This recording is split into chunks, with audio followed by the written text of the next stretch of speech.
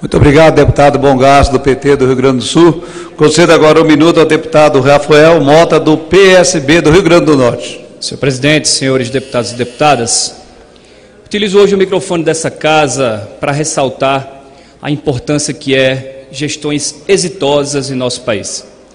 Estive recentemente em Recife, onde o prefeito Geraldo Júlio demonstrou, através do seu mandato como prefeito, que é capaz sim de gerar empregos e renda através do Porto Digital, onde foi criado mais de 8 mil vagas de emprego naquele município.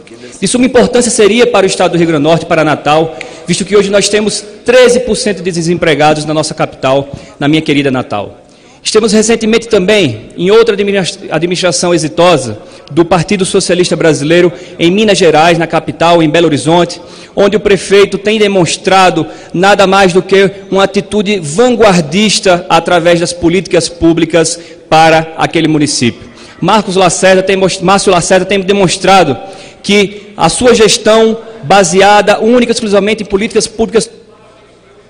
Para concluir, senhor presidente, um minuto tem demonstrado através das problemáticas, como por exemplo o trânsito e a mobilidade urbana, através dos, dos BRTs, através da segurança pública no que diz respeito ao centro de operações da Prefeitura de Belo Horizonte, onde são mais de 100 postos para tornar aquela cidade inteligente e funcional. Além disso, vagas foram criadas também na rede pública de ensino. Vocês vejam bem, a maior dificuldade que enfrenta hoje aquele município é que os alunos da rede particular estão sendo destinadas e largando essas escolas particulares para ir para a rede pública. No meio social, também tem tido políticas públicas para alavancar aquele município. Então, são experiências exitosas que merecem o nosso respeito e merecem ser ampliadas também para o nosso país, é assim também para a nossa cidade natal, que infelizmente tem sofrido muito ao longo dos anos. E fica aqui o nosso pedido para ser divulgado nas, nas redes é, dessa casa, em especial a Voz do Brasil, senhor presidente. Muito obrigado. Muito obrigado.